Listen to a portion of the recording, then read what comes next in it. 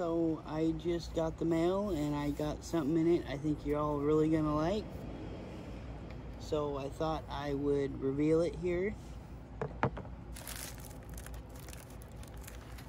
So here they are.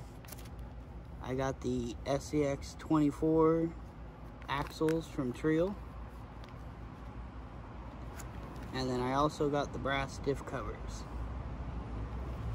So I figured I'd open them up real quick and show you them before I install them on the truck. I'm also going to weigh them empty and we'll see how much these weigh versus the stock. But I thought you'd like to get a good look at them before they're under the truck where they're kind of hard to see. So again, just like with the TRX4 parts, you get the stickers with it.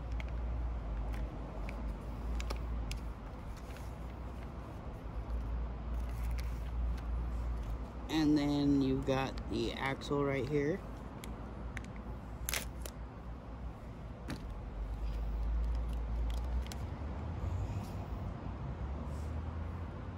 So that is pretty. It's definitely got a little bit of weight to it too. So this is the front axle. And I'm not to do it on camera, or at least install them, because it's so small, you're just to see my fingers in the way and everything. So, I mean, I have a hard enough time trying to do that with the bigger rigs. But I will show you it after, and like I said, I will weigh them. Of course, you get these screws, so you get some of that extra hardware, which is always nice. Now these are going to go on my C10. And I'm going to put these diff covers on them too.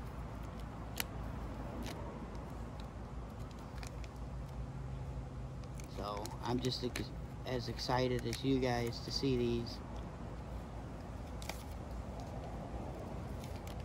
Oop.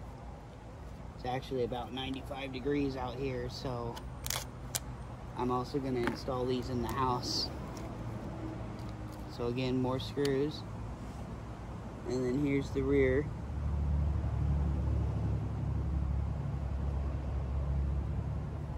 Super high quality. They just look amazing.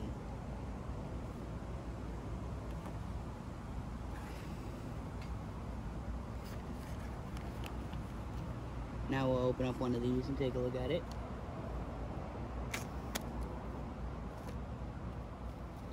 These don't have stickers in them. Probably because they can't fit the sticker sheet in here. So again, you got more screws. And then we got the diff cover itself.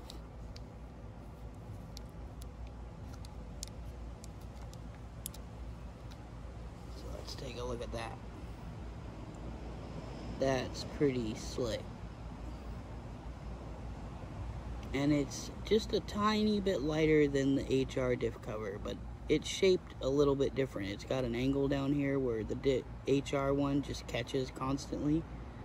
That's gonna help, and it plus it just looks awesome compared to the HRs.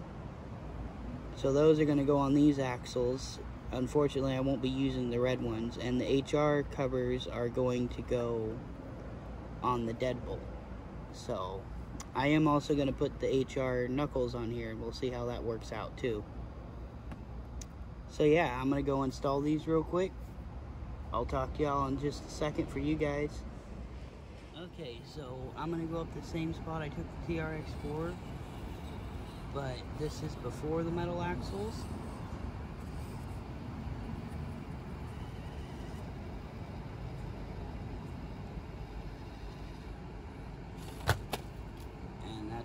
flipped almost to the point where the rug is folded.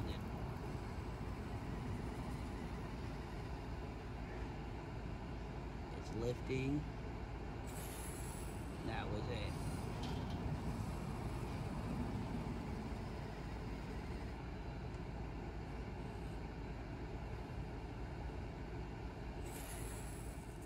Okay, and then we'll compare it on the hills here. So This is still without the metal axles. This is just with the HR diff covers and the knuckles. Figured we should test it on some dirt. There's a couple axle snaggers in here too, and it already catches bad with the HR diff, so I don't think it's really going to make much of a difference there. There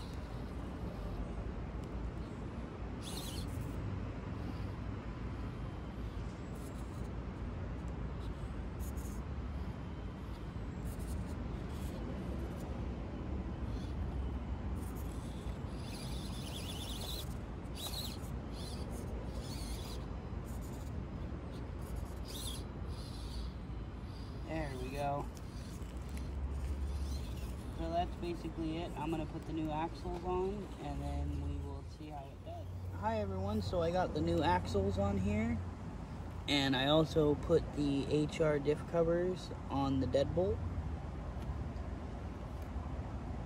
Here's what you want to see. There's the new axles. They look sweet under there. The HR uh, knuckles fit just fine and it's got some dang good steering now. So that fixes the steering issue for sure.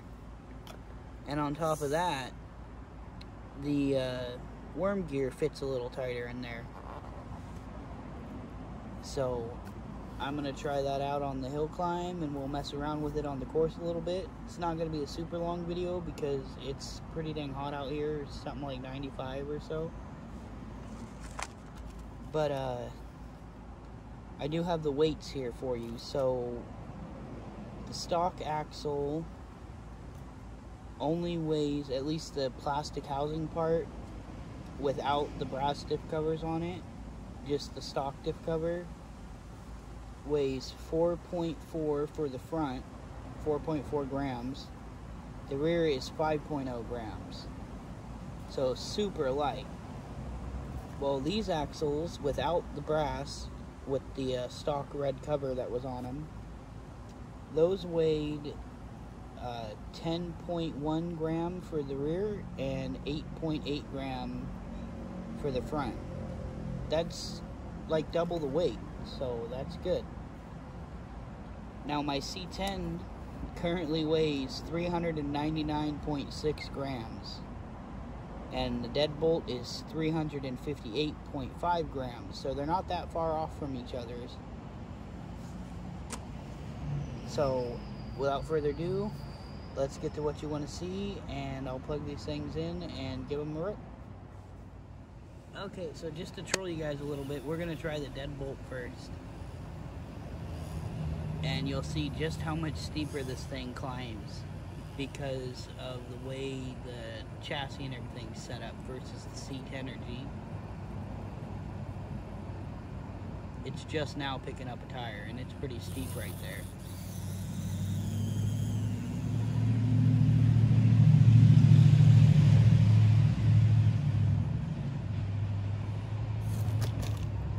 That looks like about the limit for the deadbolt. To be expected, it has a lot less weight up high.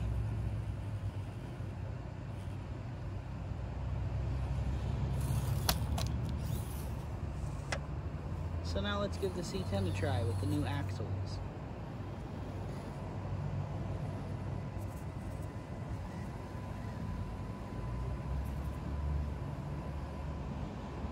it's already making it a little further than it was before. Look at that. With a heavy interior in there.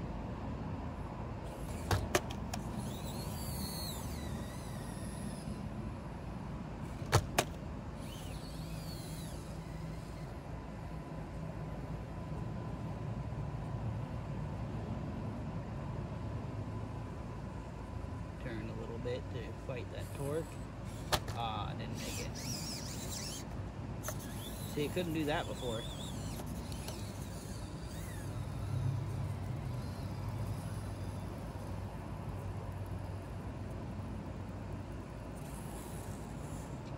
So that's it for the climb test.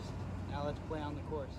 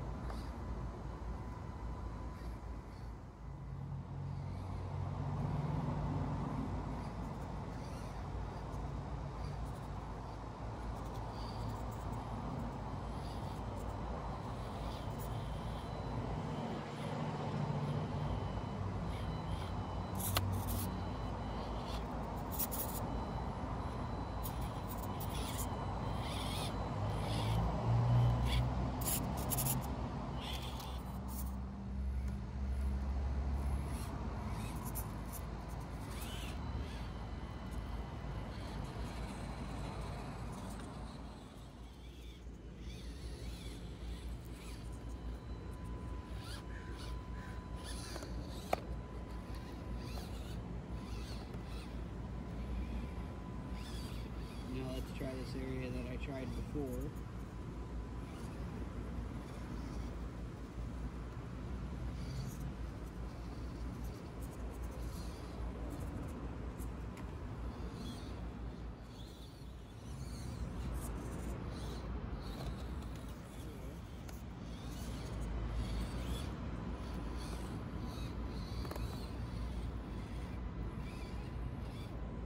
remember how much trouble this gave us.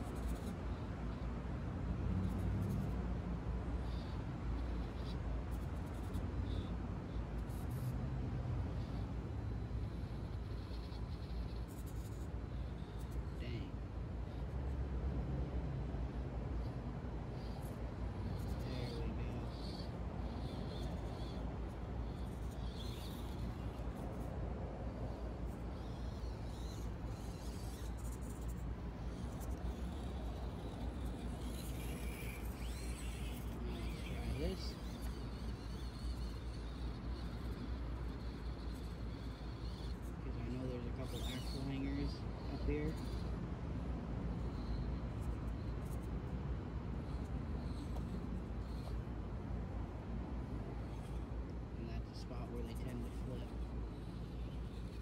No problem at all.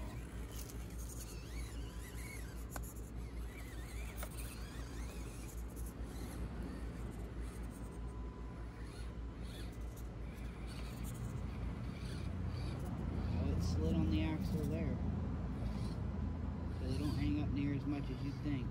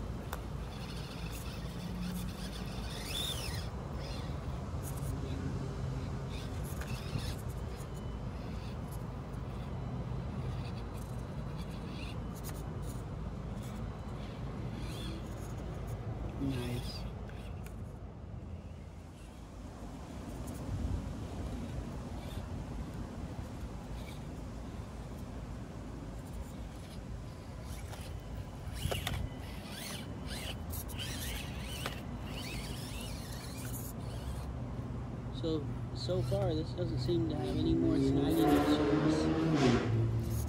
Sorry about that. So it doesn't seem to snag up any more than with just the HR diff covers, which snag a lot. But the center of gravity is definitely improved.